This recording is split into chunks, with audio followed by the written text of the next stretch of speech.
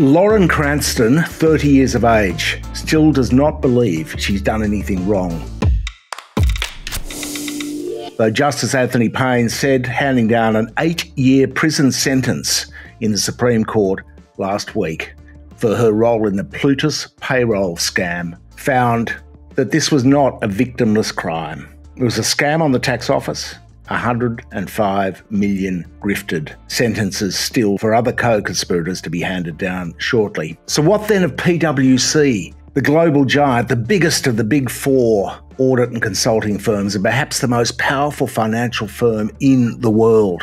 What have they done? They were confidentially advising the government on tax laws while advising their multinational clients how to dodge the new laws before they were even passed.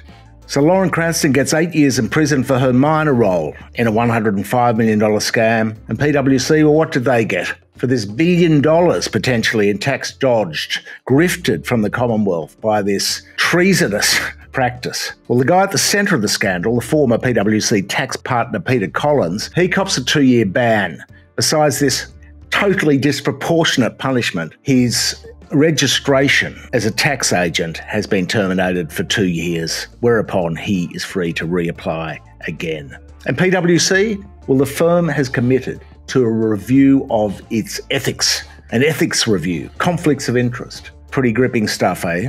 Didn't they learn ethics at the kindergarten along with the rest of us? You know, we were all taught not to tell fibs, not to cheat, not to steal, were they all raised by evil nannies, these people, or did, or did they miss that when they were four or five years old? The high farce in all of this is that the confidential info was sent to dozens of partners. It's a full blown racket who then pass it on to clients to dud the ATO, potentially of billions of dollars. They get money from the government for telling the government how to do their tax laws, and they get money from their multinationals for passing on secrets. Quick update PwC CEO Tom Seymour was stood down today, so the scandal yet grows.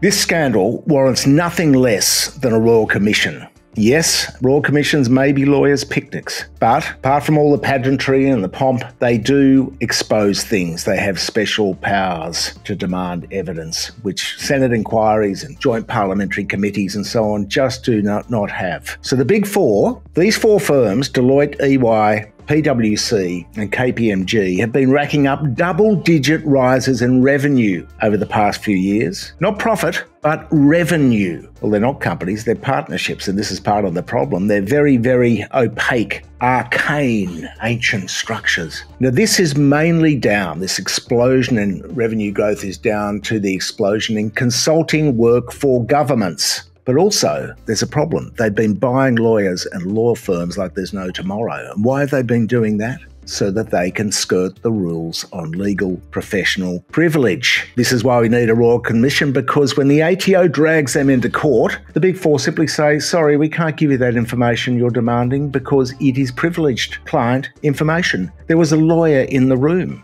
So, why do we need a Royal Commission now into the Big Four and their shady tax practices? Well, a Royal Commission would have the powers to demand full disclosure, powers to void this rampant secrecy, and that will bring in tax revenues by the hundreds of millions and the billions of dollars for the good of Australians. Because the Royal Commission will be able to get to the bottom of how these opaque partnerships work, how they fashion themselves as the guardians of commerce, as their audit role would have it, while at the same time raking in billions in government consulting work and telling their multinational foreign clients how to dodge tax in Australia. Bring it on. Royal Commission into the Big Four.